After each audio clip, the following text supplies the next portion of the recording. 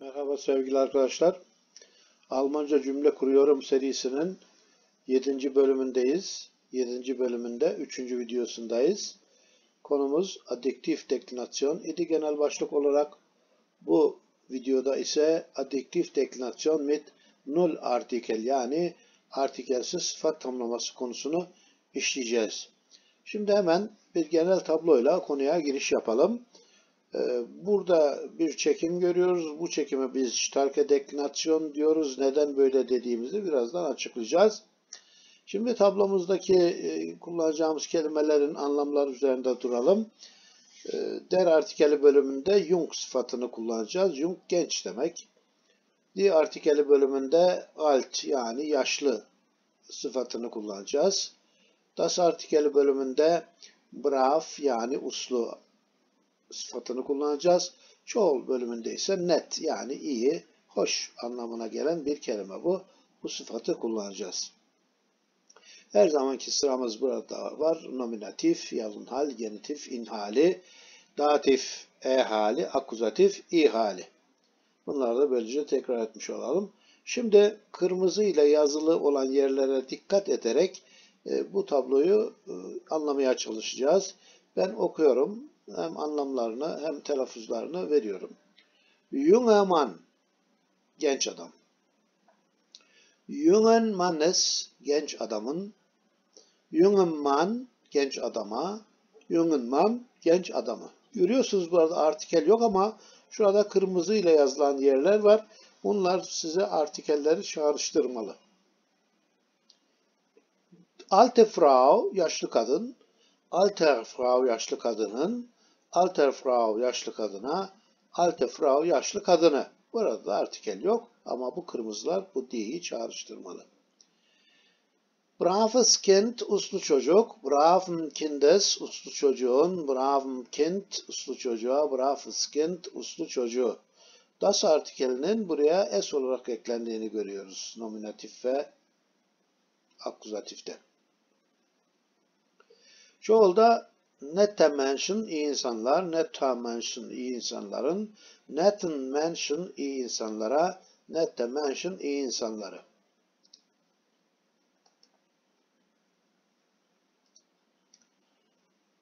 Şimdi burada bir önceki sayfada yani birinci sayfada ki tabloda kırmızı renkle yazılmış olan eklere dikkatle bakılırsa Der ve das artikelli isimlerin genitif biçimleri hariç, geriye kalanların tamamının deklinasyon mit den bestimmten Artikeln belirli artikelle ismin halleri tablosunu çağrıştırdığı görülecektir.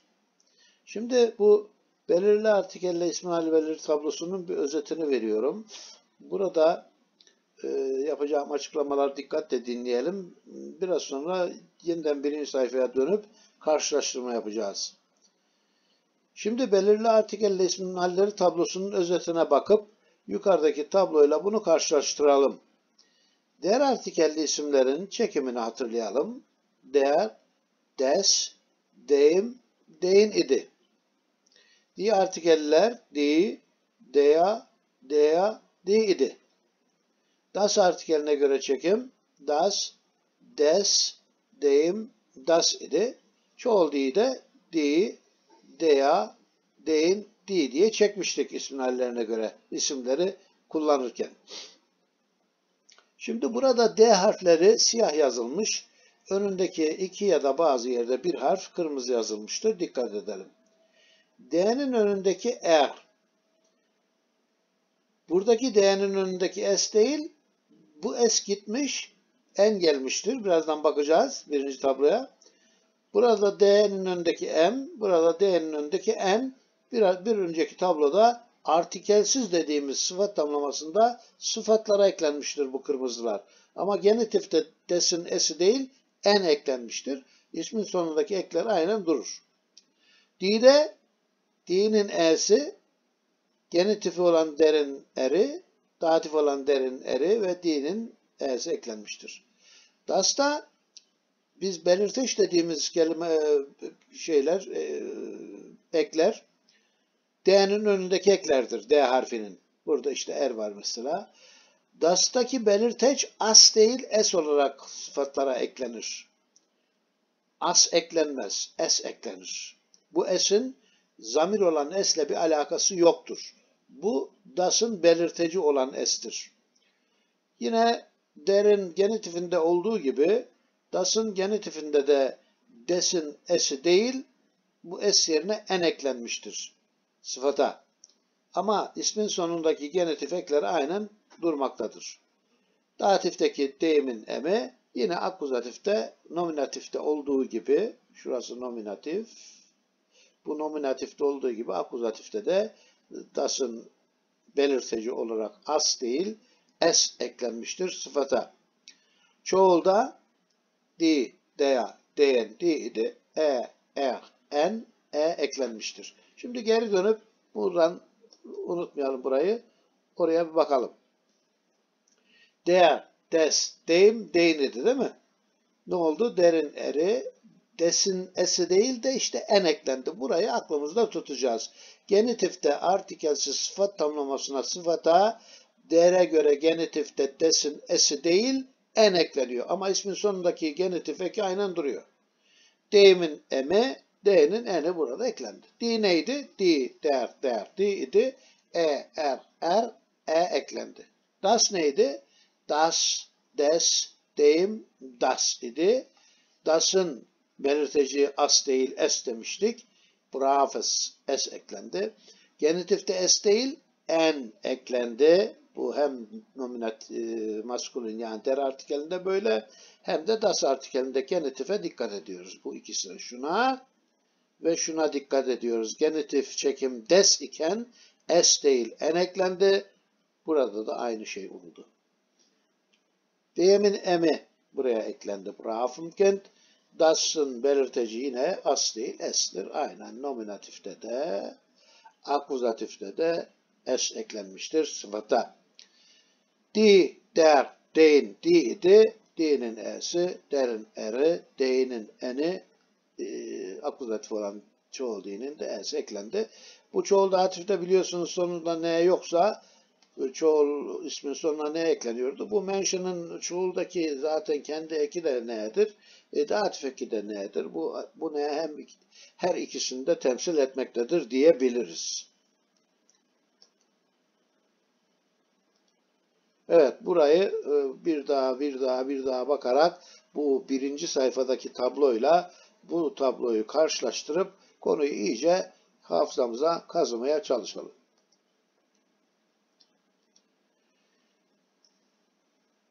Der, di, das ve plural di artikellerinin görevi birlikte kullanıldığı ismin cinsiyetini, tabi isimlerin cinsiyeti deyince artikelli kastediyoruz. Artikel ismin cinsiyetini belirtiyor. İşte Almancanın gramerinin açıklaması bu şekilde yapılabiliyor. Ve o ismin hangi halde olduğunu göstermektir. Demek ki bu artikellerin görevi o ismin cinsiyetini belirtmek bir de o ismin hangi halde olduğunu belirtmektir. Biz Türkçe'de ismin kendisine ek yaparak ismin hallerini gerçekleştiriyoruz değil mi? Yani işte okul, okulu, okula, okulda, okuldan deyip ismin hallerini isme ek yaparak gerçekleştirmiş oluyoruz. Ama Almanca'da böyle bir şey yok. Almanca'da artikel değişerek, dönüşerek diyelim, değişerek değil de dönüşerek ismin halleri gerçekleştiriliyor. Artikelsiz sıfat tamlamasında ise artikel yok. E o zaman nasıl olacak da o ismin hangi halde olduğunu anlayacağız ya da cinsiyetini anlayacağız? İşte bu durumda bu belirteç dediğimiz şeyler ortaya çıkıyor. Yani nedir belirteçler? D harfinin önündeki o kırmızıyla bir önceki sayfada yazdığım şeylerdir. Bazen işte dinin sadece e'si ekleniyor. E, bazen de diğerleri orada hepsi yazıyor. Bunları tekrar söylememize gerek yok. İşte bunun nasıl yapıldığını anlamak için yukarıdaki sunduğum deklinasyon mit bestimmten Artikeln yani belirli artikelle ismin halleri özet tablosuna bakacağız. Lütfen bu tabloyu ezberleyelim, hafızamıza kazıyalım. Hangi tabloyu? Şu bir önceki sayfadaki tabloyu, şurayı. Der, des, deyim, deyin. Bütün ismin halleri sıfat tamlamalarının her çeşidinde bu karşımıza çıkacak. Bunu bilmiyorsak bütün öğreneceğimiz yeni bilgiler havada kalır.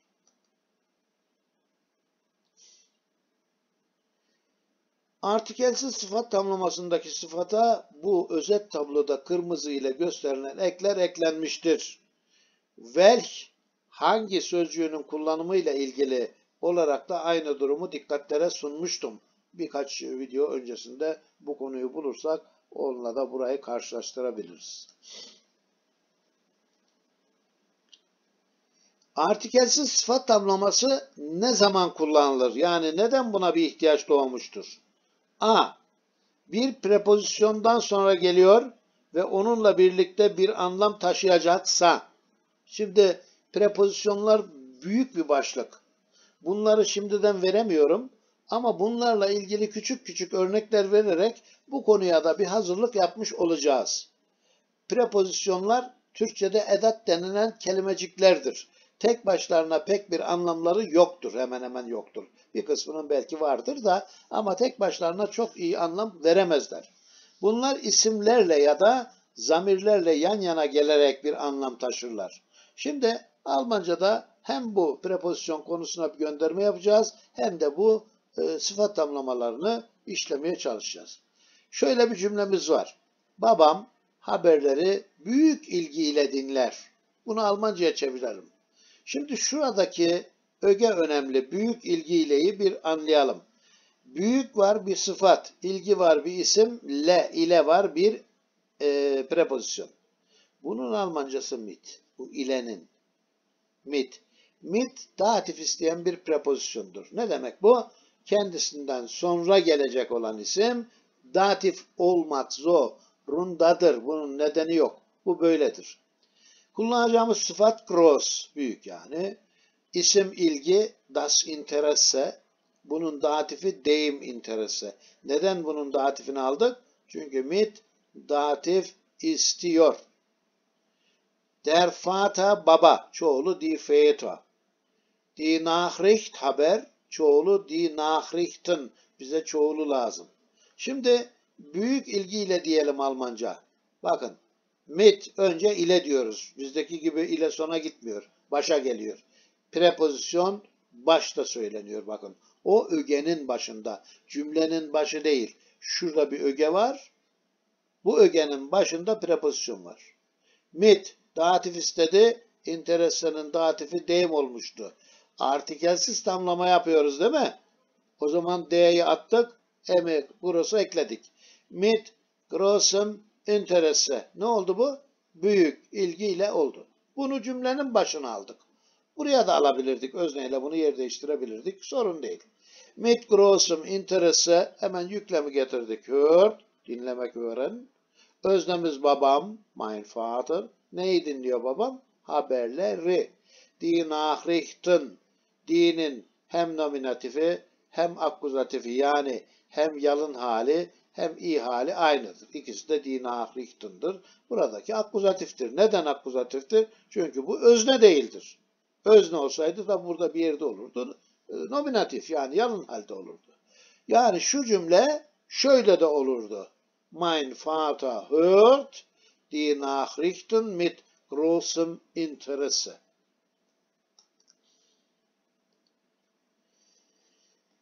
Başka bir cümleye geçiyoruz. Günümüzde birçok insan büyük kentlerde yaşıyor. Bizim şimdi en önemli ögemiz şurası. Büyük kentlerde. Günümüzde ne demek? Bugün demek. Bugün ne demek? Heute. İnsanlar. Özne olacak ya bu kelime. Bu lazım. Der Mensch insan. Çoğulu die Menschen. insanlar. Birçok insan ama bir, bir tane değil. O zaman bize bir kelime daha lazım. Fiil. Buna ek yapacağız vesaire. Bu önemli. Bunun Türkçesi birçok. Yaşamak leben.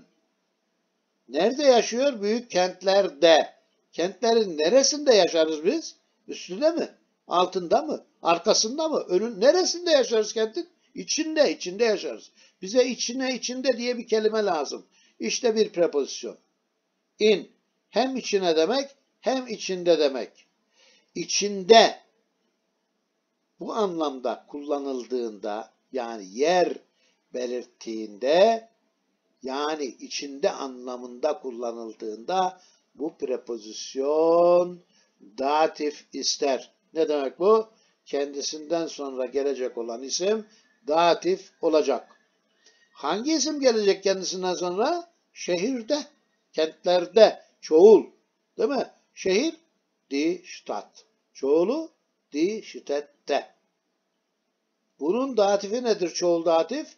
Den Städten. Şimdi çeviriyoruz. Viele Menschen, birçok insan, biz tekil söyleriz de birçok deyince kelime çoğul olur. Fiile ile kullandığımız zaman bura çoğul olur. Fiile Menschen, birçok insanlar. Leben, yaşıyorlar. Heute bugün nerede? Büyük şehirlerde. İşte şehirlerde dediğimiz o de içinde demektir. Bizim Türkçe'de büyük şehirlerde ifadesi D halindedir. Ama Almanca'da D hali yok.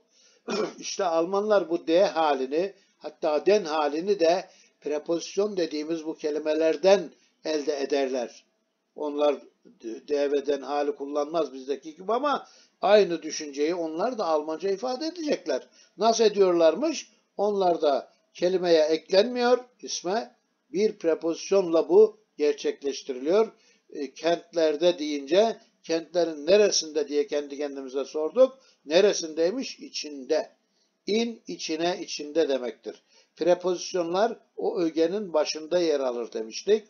Başa getirdik. Çoğul datif deyin idi. Bu artikelsiz olacağı için D'yi attık. N'i ekledik belirteç. En in großen Städten oldu. Viele Menschen leben heute in großen Städten. Bir başka örneğimiz güzel havada balkonda otururuz. Yani hava güzel olursa balkonda otururuz demek de hava güzel olursa dediğimiz zaman Almanca başka bir cümle çıkar.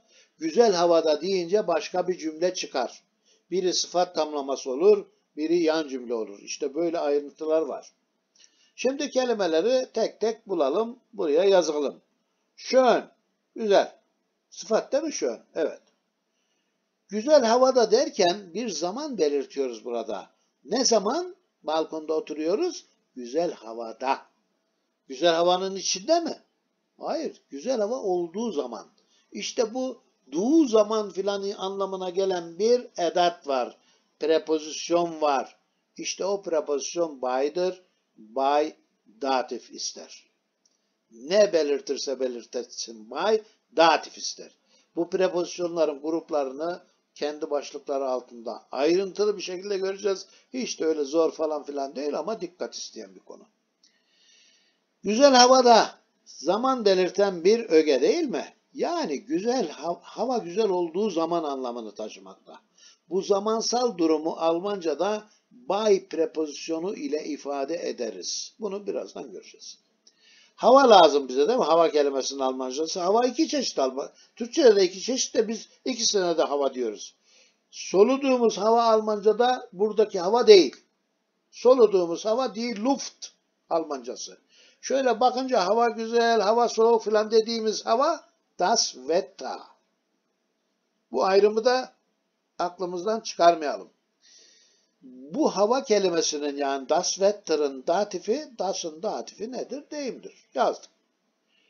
Oturuyoruz. Oturmak sitzen. Bu bir yerde bir şehirde oturmak değil ikamet. Bir yerde oturur vaziyette olmaktır sitzen. Nerede oturuyoruz? Balkonda. E, balkonun neresinde otururuz Allah aşkına biz? Ya içinde otururuz ya üstünde. Almanca'da balkonun üstünde denir. Üstünde. Yani balkonda ifadesindeki da Türkçe'de D halini verir. Ama Almanca'da biraz önce de söyledim D hali yoktur. D halini gerçekleştirmek için bir prepozisyon gerekir. Balkonda deyince düşüneceğiz neresinde otururuz? Ha, üstünde. Üstüne, üstünde anlamına gelen bir prepozisyon var o da auf'tur. Bakalım neymiş? Auf burada üstünde anlamında kullanacağız. Bu prepozisyon yer belirttiğinde ilgili olduğu ismi datif yapar. İlgili olduğu isim nedir burada? Balkon. Balkonu datif yapacağız. Der balkon, balkon bunun datifi deyim balkon. İşte bu ismin hallerini iyi bilirsek bunları kolayca çıkarırız. Şimdi ne diyeceğiz? Güzel havada. Önce prepozisyonu söylüyoruz. By. Ne istiyordu? Datif. Hemen Wetter'ın datifi değmidi. Güzel havada diyeceğimize göre artikelsiz yapacağız. Deyimin emini buraya ekledik. Ne oldu? Schönem. Bei schönem Wetter sitzen wir auf dem Balkon. Güzel havada balkonda otururuz. Şöyle de olur. Wir sitzen bei schönem Wetter auf dem Balkon.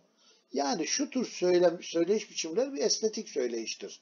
Genelde zaman belirten ifadeler, tümleşler cümle başına gelir. Bunlar cümle başına gelince yüklem ikinci sıradaki yerini muhafaza eder. Özne de onun arkasında gelir. Özneyi başa alırsak yani şuraya bu olduğu gibi tamamı birden öznenin yerine gider. Ne olur? Wir sitzen, wir sitzen bei schönem Wetter auf dem Balkon olur.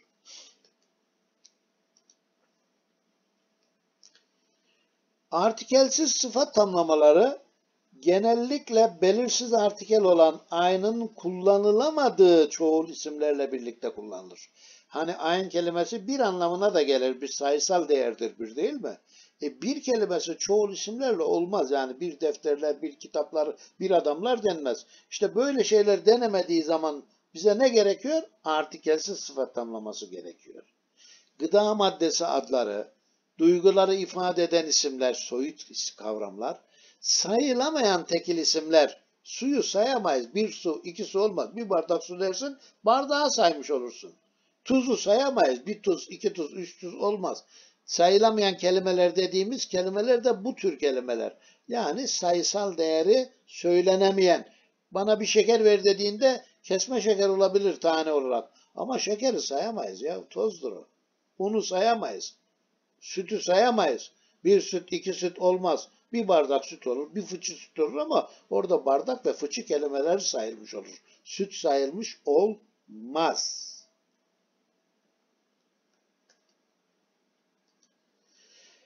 Tekil isimlerle kullanımına örnekler. Bazen bu artikelsiz sıfat tamlamalarını tekil isimlerle de kullanabiliriz. Bakalım nasıl kullanacağız. 1.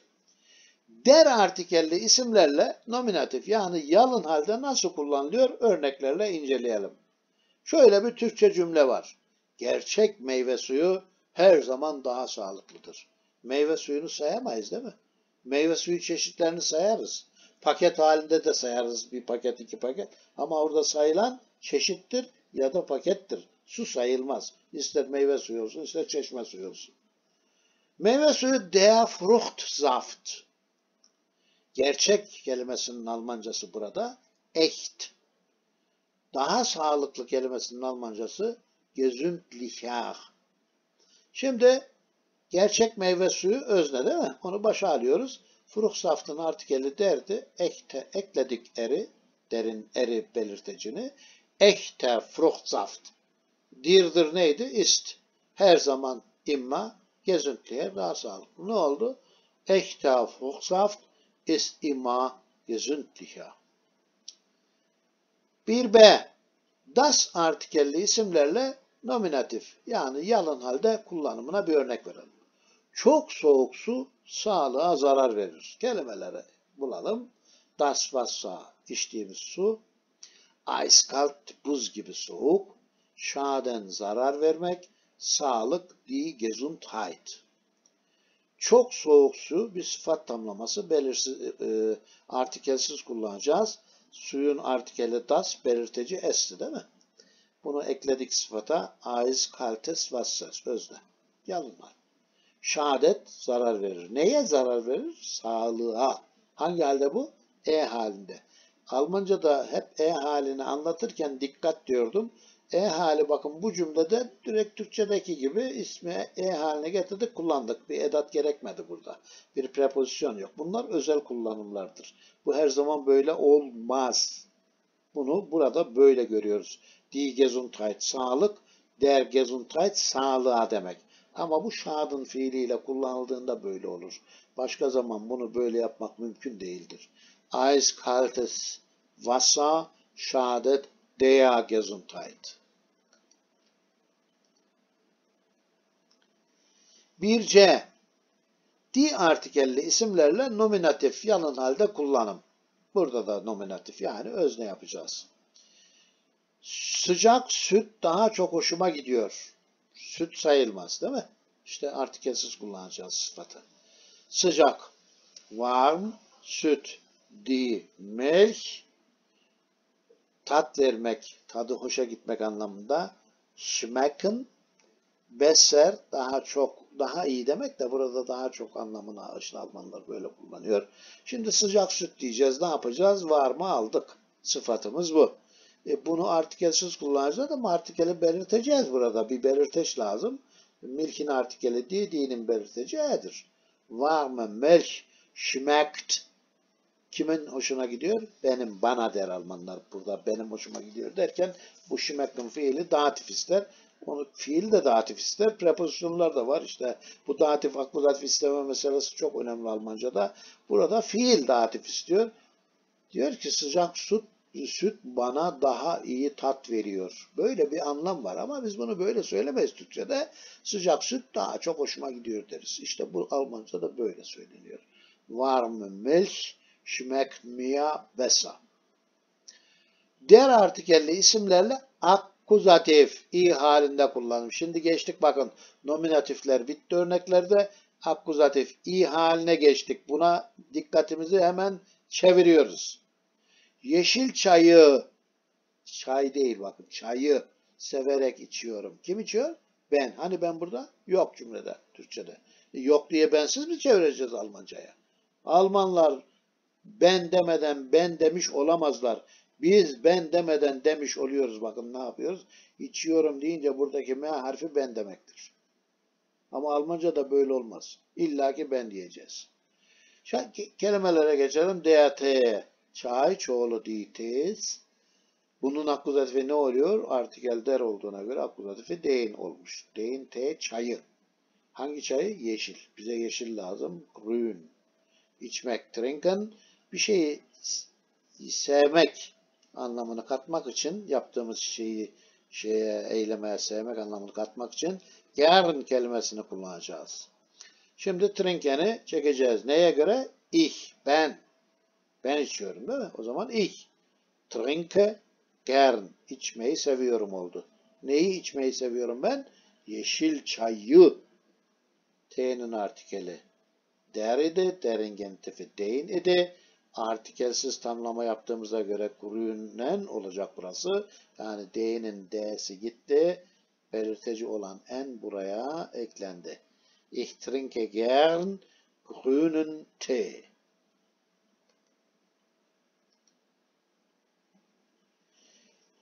Das artikelli isimlerle akkuzatif yani i halinde kullanım. Bakın hep akkuzatiften gidiyoruz şu anda. Birinci örneğimiz akkuzatifte der artikelli isimdi. Şimdi das artikelli isimde bir akkuzatif e, örnek göreceğiz. Biz her zaman taze ekmek yeriz. Şimdi burada bu taze ekmek deyince yalın halde görünüyor değil mi? Ama değil bu işte. Bu belirtisiz nesnedir. Bu belirtili nesne, belirtisiz nesne konusunu Türkçeden çözemeyenin Almanca bu cümleyi Almanca'ya çevirmesi biraz sıkıntılı olur. Buradaki taze ekmek taze ekmeği anlamındadır. Ama öyle bir ilginç durum var ki burada das artikel isimlerin hem nominatifi hem akuzatifi aynıdır. Das hem nominatifte das'tır hem akuzatifte das'tır. Ama artikeli der olan bir isimde burada sıkıntı çıkar. Kelimelere geçelim. Das Brot ekmek. Bunun akuzatifi yine das Brot. Şimdi açıkladım ya. Yani das Brot hem ekmek demek hem ekmeği demektir. Taze neymiş? Frisch. Bir şeyi yemek, essen, her zaman kelimesinin Almancası imma. Çevirelim. Kim yer bu taze ekmeği yemeyi sever? Biz. Özne biz. Gizlimizli özne olmaz Almanca'da. Açık, açıktır özne. Wir essen immer frisches Brot. Brot'un artikeli das. ister akkuzatif olsun ister nominatif. Das'ın belirteci es'tir. Değil mi? Frisch sıfattır. Ekledik. Frisches oldu. Belirteci ekliyoruz. Niye? Artikel kullanmayacağız onun için. Di artikelli isimlerle akuzatif kullanım. Geldik di artikelli isimlerle. kullanma. Annem her zaman iyi tereyağı alır. Yine bu belirtisiz nesne meselesi. Bakın. Annem her zaman iyi tereyağı alır deriz ama bu aslında iyi halindedir. Belirtisiz nesne dememizin sebebi iyi halinde olduğu belirli olmadığı için belirtisiz nesne diyoruz. Ama Almanca'da bunu iyi haline getirmek zorundayız. Yani iyi, iyi tereyağını alır diyeceğiz. Burada da ilginç bir durum var ki tereyağı die Butter bunun hem nominatifi hem akuzatifi die Butter'dir. Yani die Butter hem tereyağı demek hem tereyağını demektir. İyi ne demek? Gut. Satın almak kaufen. Her zaman imme. Kim satın alır? Annem. Kimin annesi? Benim. Meine Mutter. Annem deyince biz benim demeden annem demiş oluruz.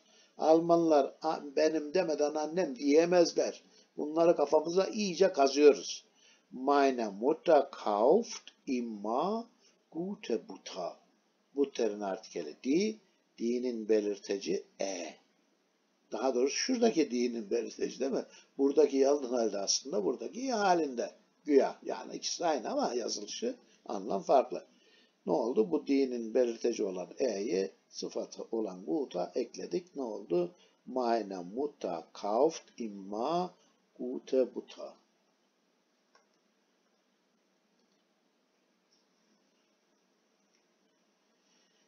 Der artikelli isimlerle datif yani e haline kullanın. Bakın her artikele göre her artikelin değişik hallerine göre örnekler veriyorum. Bunlar çok önemli örnekler. Bunlar sizin anahtar cümleleriniz olacak. Bu anahtar cümlelerle kendi cümlelerinizi çoğaltacaksınız. Mesele budur. Bu örnekleri vermemdeki amaç bu. Yeni şef büyük zevkle yani keyifle çalışıyor. Bir ile var değil mi? İle lazım bize. Mit datif istiyordu. Daha önce bir cümlede gördük. Bunun yeri yönü falan yok. Mit datif ister. Nerede olursa olsun. Zevk der Spaß. Çoğulu die Späße. Bunun çoğulu e, datifi lazım değil mi? Das Spaß, datifi dem Spaß. Birazdan bu mitle bunu bağlayacağız. Büyük ne demekti? Groß. Çalışmak, arbeiten. Yeni şef diyeceğiz ya, yeni lazım. Neu. Çeviriyorum. Bu da bir sıfat tamlaması değil mi yeni şef? Bu belirli artikeller sıfat tamlaması. Bizim konumuz artikelsiz sıfat tamlaması. E, birini öğrenirken diğerini kullanmayacağız diye bir şey yok. Şimdi onu da hatırlayalım. Der neue şef. Yeni şef. Bu belirli artikelin kendisiyle yapılmış bir sıfat tamlamasıdır. Çalışıyor. Yeni şef üçüncü tekil şahıs değil mi? Biz bunun yerine ben diyemeyiz, sen de diyemeyiz. Ne deriz? O deriz. O kaçıncı şahıstır? Üçüncü tekil şahıs. E bu özneye göre fiili çektik mi arbeitet olur. Bir daha hatırlayalım. Ich arbeite, du arbeitest, er, sie, es arbeitet idi. Der neue üçüncü tekil şahıstır. Şahıs olarak yani. Açıklaması bu bunun. Böyle bir özneye göre fiili ne yapacağız? Ermiş gibi çekeceğiz. Burası sanki er imiş gibi çekeceğiz. Er arbeitet veya der neue Chef arbeitet. Mit großem Spaß. Mit ile demekti. Ögenin başında. Burası öge. Cümlenin bir ögesi bu. Öge. Üye. Bunu başta söyledik edatı. Türkçe gibi sonda değil. Başta. Mit dedik. Hemen sıfatı getirdik. Bunun şipasın artikeli das idi. Datifi deyim. Deyimin belirteci aim idi. Bunu buraya ekledik. Der neue Chef arbeitet mit großem Spaß. Das artikelli isimlerle datif e halinde kullanımı örnek cümle kardeşim soğuk suda yıkanmayı sever. Nerede yıkanmayı severmiş? Soğuk suda suyun üstünde mi? Yok. Arkasında mı? Ya. Yani içinde su akar biz de içine gireriz değil mi? O halde soğuk suda burada D hali Türkçe'de Almanca'da D hali yok. Ne yapacak Alman? Hemen bir prepozisyon bulacak. Ha, soğuk suda. Yani soğuk suyun içinde. In. Yer belirtiyor değil mi? İçinde. O zaman datif istiyor. Su das Wasser. Bunun datifi nedir? Das'ın datifi deyim. Soğuk. Kalt. Banyo yapmak, yıkanmak burada baden. Kim yıkanmayı sever? Kardeşim. Kimin? Benim. Değil mi? Kardeşim öyle yok bizdeki gibi. Hemen benim demek zorunda. Mein Bruder badet fiili çektik. Baden fiili. İşte D sonu N'de biten cartçurt bir sürü şey anlatmıştım. Onlara bakacağız dönüp. Mein Bruder badet gern in kaltem Wasser. Neden burası M? Suyun içinde. Datif lazım. Das Wasser'in datifi dem. Dem'deki belirteç M'dir. Buraya eklendi. In kaltem Wasser. Mein Bruder badet gern in kaltem Wasser.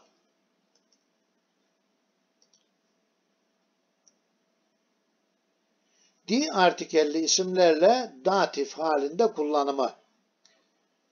Bu prosedürü kendi deneyimimizden biliyoruz. Biraz hafif böyle daha ayrıntılı bir cümleye doğru gidelim bakalım. Prosedür neymiş? Die Prozedur. Bunun çoğulu die Prozeduren. Mevzuat yani prosedür. Kendi deneyimimiz derken kendi kelimesi bir sıfattır. Eigen. Tecrübe, deneyim, die Erfahrung, bunun çoğulu die Erfahrungen. Bunun bize datifi lazım. Neden bakın? Kendi deneyimimizden biliyoruz. Bu den hali Türkçe'de. Ama Almanca'da den hali yok. İşte böyle bir durumdaki cümlede bize yani ögeyi şu ögeyi Almanca'ya çevirmek için bir den lazım. O denin Almancası Aus'tur. Birkaç tane daha den var. Karıştırmayalım. Bu cümleye göre anlatıyorum. Aus yer belirtir, yön belirtir falan filan hikaye önemli değil. Aus'u gördüğümüz yerde ilgili olduğu isim datif yapılacaktır. Mecburen. Neden olacaktır diye bir soru yok. Datif olacak. Çeviriyoruz. Wir kennen, ha, biliyoruz kelimesi de kennendir. Burada tanımak anlamındadır bilmek. Bilmek başka kelimeler de var da buradaki biliyoruz ifadesinin Almancası kennendir, tanımaktır. Wir kennen diese Prozedur aus eigener Erfahrung. Biz özne wir, kennen yüklem bu prosedürü, prosedürü, mevzuatı yani iyi haldir ama bunun yalın halde, iyi halde aynıdır. Diz bu demek değil mi? İşaret e, artikeli olarak. Bunları hatırlıyoruz. Kendi deneyimimizden Deni önce söylüyoruz. Den neymiş burada? Aus. Kendi neydi? Eigen. Deneyim, Erfahrung. Aus, ilgili olduğu ismi datif yapar. Erfahrung'un datifi der, ekledik derin belirtecini e'ye buraya geldi. Aus eigene Erfahrung oldu. Wir kennen diese Prozedur aus eigener Erfahrung.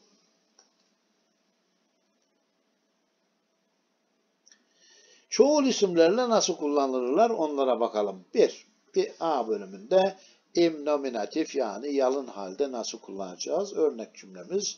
Küçük çocuklar evin önünde oynuyorlar. Her zaman yaptığımız şey nedir? Önce kelimeleri bir bulacağız. Sözlük yanımızda duracak. Kocaman bir sözlük olacak yani. Ben kitaplar bölümünde açıklama yapmıştım. Langenscheid'in büyük kalın sözlüğü var. Onu yanımıza koymazsak bu işin içinden çıkamayız. Küçük, klein. Bu bir sıfattır. Çocuk das Kind, çoğulu die Kinder, çoğul. Bize çoğulu lazım mi? Küçük çocuklar diyeceğiz. Evin önünde diyor. O zaman işte yine bir D hali çıktı ama öyle işte Türkçedeki D hali gibi Almanca'da D hali yok. Evin önünde. Neresinde? Önünde. Önüne, önünde for. Yer belirtiyor. Evin önünde deyince bir yer belirtiyor. Datif ister.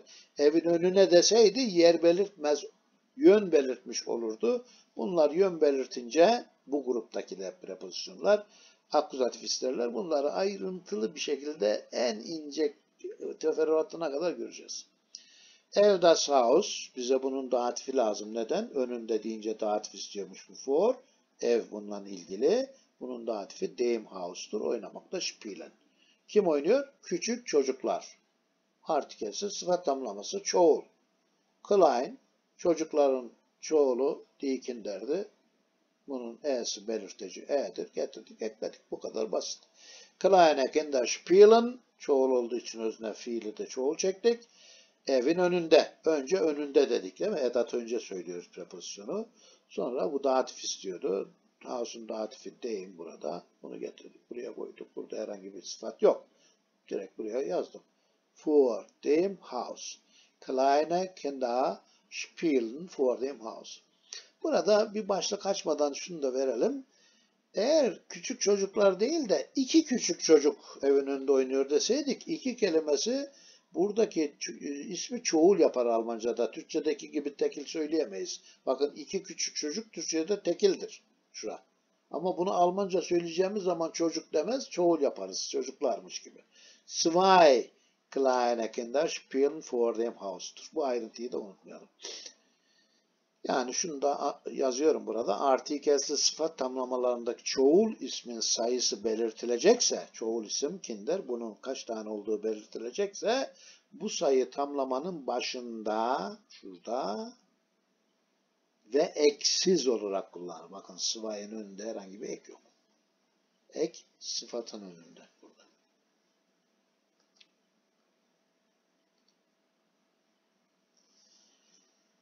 İm akuzatif.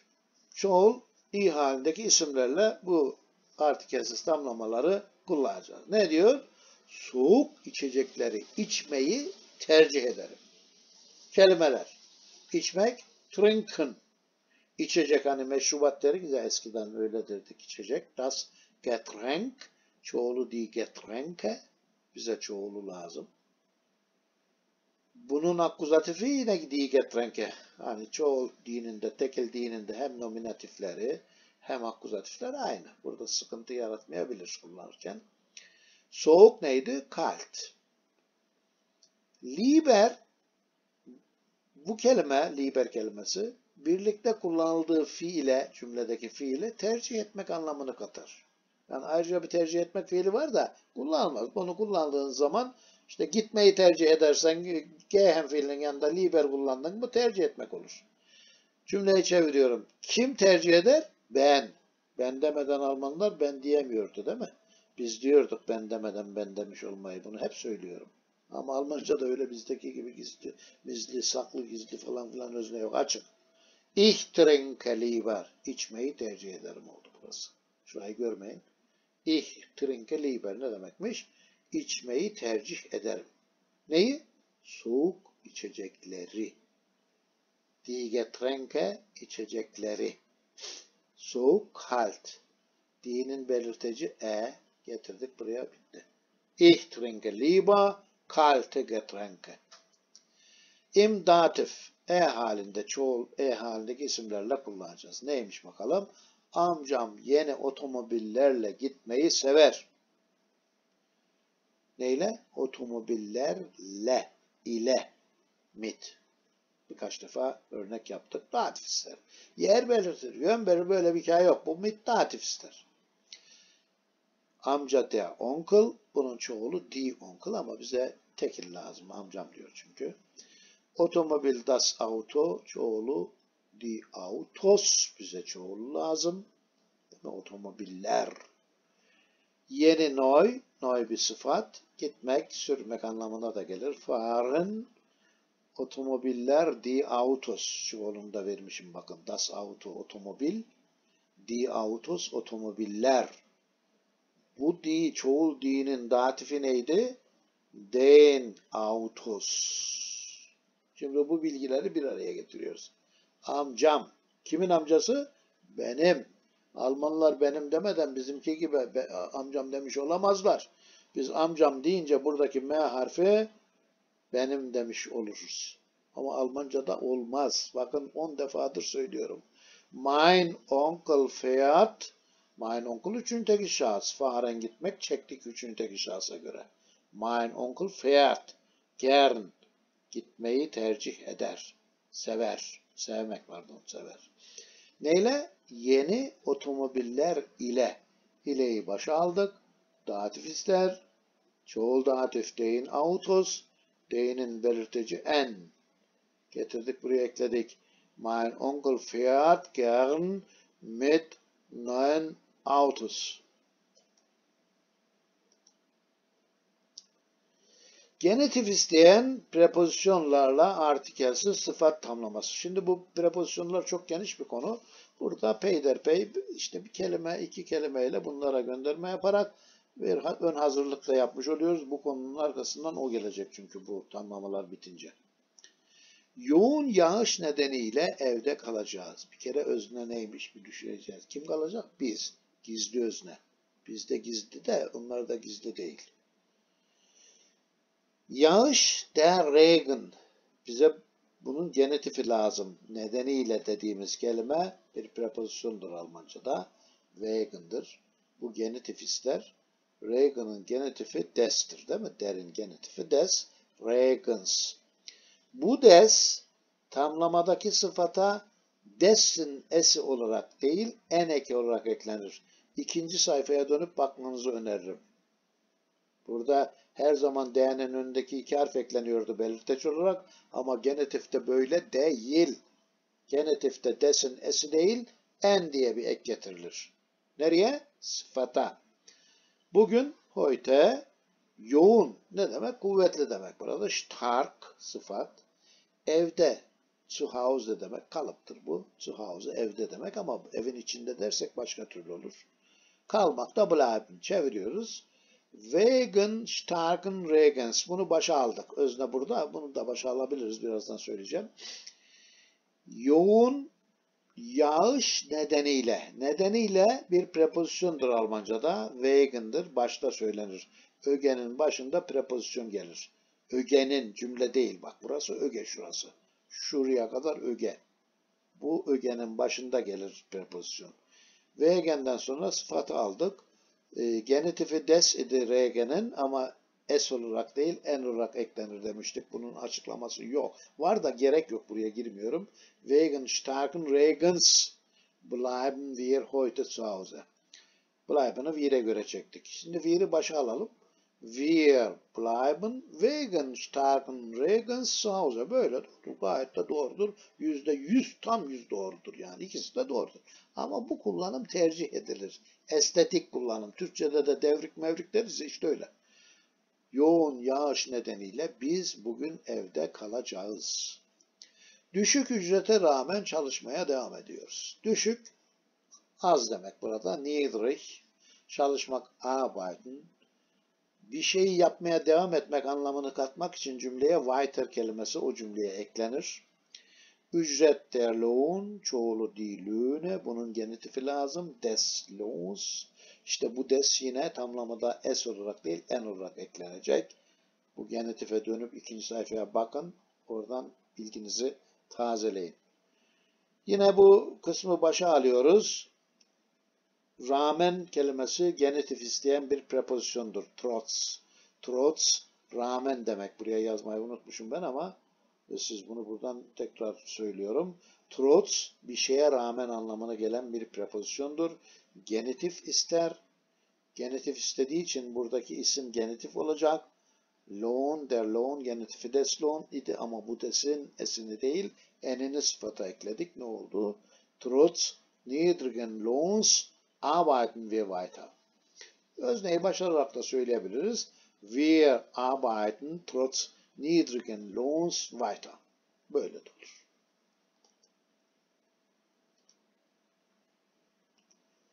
Cins isim tamlamalarında artikelsiz sıfat tamlamaları. Daha önce cins isim tamlamalarını görmüştük. Ayrıntılı bir şekilde anlatmıştım. Orayı bir başlıklar videoların altında yazıyor.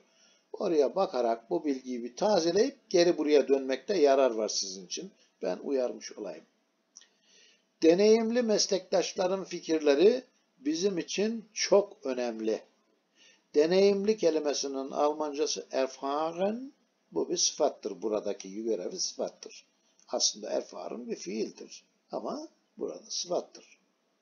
Meslektaşlar, der Kollege, meslektaş çoğulu, die Kollegen. Çoğulunun genetifi lazım değil mi? Meslektaşların fikirleri, burada bir isim tamlaması var. İsim tamlaması yaparken cins isim tamlamalarında genetif kullanıyoruz. Hatırlayalım. Her konu bir yeni konunun içinde geçecek bu şekilde. Çoğul diyenin genetifi der. Fikir, die, der Gedanke, çoğulu die Gedanken, çok önemli. Sehr wichtig, bizim için de für uns. Bunları kalıp olarak veriyorum. Nasıl olduğunu konuları anlattıktan sonra ayrıntıya gireceğiz. Nedir bizim için öne- önemli olan? Tecrübeli meslektaşların fikirleri. Tamlayan, tamlanan, Türkçeden hatırlayalım. Tamlanan önce geliyor Almanca'da cins isim tamlama. Tamlayan sonra geliyor. Tersi yani Türkçenin tersi. Die Gedanken erfahrener Kollegen. Neden böyle oldu? Die Kollegen, çoğul meslektaşlar, genetifi der Kollegen. Buradaki genetif olan derin belirtici er buraya eklendi. Die Gedanken erfahrener Kollegen sind sehr wichtig für uns. Türk balının helvanın üretilmesi o kadar basit değil. Bunu özel seçtim bu cümle çünkü anlatacağım bir şey var. Almanlar bizim helva dediğimiz şeye Türk balı derler. Burada Türk balı bir sıfat tamlaması ama helva diye verecek olursak tamlama yok ortada. Onun için ben Türk balı diye çevirdim. Yoksa helva demek. Türk iş, Türklerin yaptığı şeyler, Türklere ait, Türklerle ilgili, Türkçe ile ilgili anlamına filan da gelen bir kelime Türk iş. Üretme, üretilme lazım ya bizde şimdi üretme yani üretim kelimesi lazım. Die Produktion. Bal der Honig. Bize bunun nesi lazım? Genetifi. Neden? Türk balının üretilmesi. Bir cins isim tamlaması var değil mi? Türk balı bir isim, üretilme bir isim, Türk balının üretilmesi bir cins isim tamlaması. O halde genetif lazım. Honig, der Honig, genetifi des Honigs. Buradaki des tamlamada sıfata s olarak değil, unutmayalım, en eki olarak eklenir. Çekim tablosuna bak. Bunlara geri dönüp dönüp bakarak fikri tazeleyeceğiz bilgiyi. Die Produktion türkischen Honigs ist nicht so einfach. Einfach basit demek yazmayı unutmuşum. Ben söylüyorum siz not edin. Einfach basit kolay anlamına gelir. Ne diyor? Türk balının üretimi o kadar basit değildir. Değil mi? Bakın Türkçe ile pek, pek uyuşmaz cümle yapsam ama hiç uyuşmaz. Pek pek hiç uyuşmaz.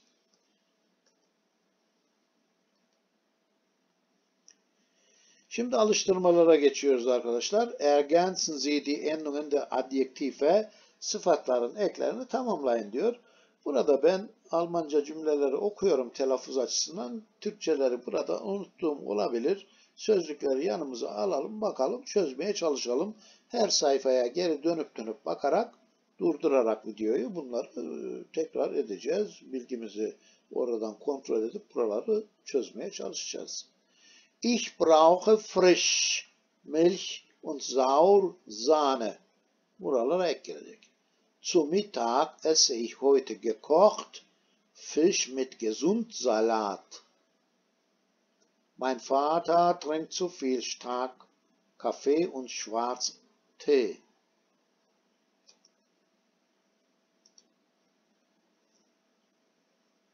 Ich lese gern Bücher über das Leben berühmt Menschen. Mit neu Hoffnung beginne ich den Tag. Die Zucchini schneide ich in kleinen Streifen.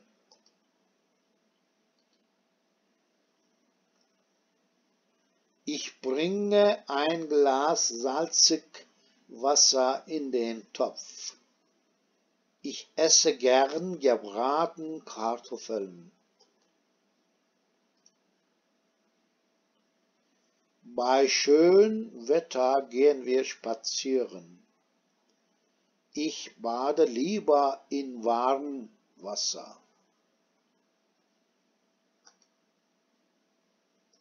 Hemen burada çözümler var. E, kontrol ettim ben defalarca. Pek bir yanlışım yok gibi görünüyor. Varsa daha sonra düzeltiriz ama sanırım yok. Bir başka alıştırma Übersetzen Sie ins Deutsche. Bunları hiç okumama gerek yok. Türkçe cümleler, kelimeler altta. Bunları tercüme edeceğiz. Almanca'ya çevireceğiz. Kelimelerin tamamı verilmiştir ama unuttuğum olabilir. Sözlüğümüz yanımızda. Her zaman söylüyorum. 10 tane de burada var. İşte bunları çevirdikten sonra şimdi çözümleri veriyorum. Çözümleri okuyorum. Ich lese, pardon, ich esse gern helles Brot. Klaus fährt mit neuem Fahrrad. In großen Städten sind alles sehr teuer. Alle, alle haben unterschiedliche Meinungen. Er hat gute Freunde. Gehabtes Fleisch ist im Kühlschrank. Die Milch koche ich auf kleiner Flamme. Jetzt brauche ich etwas frische Luft. Ich arbeite seit langer Zeit bei dieser Firma. Nächste Woche fliegen wir nach Österreich.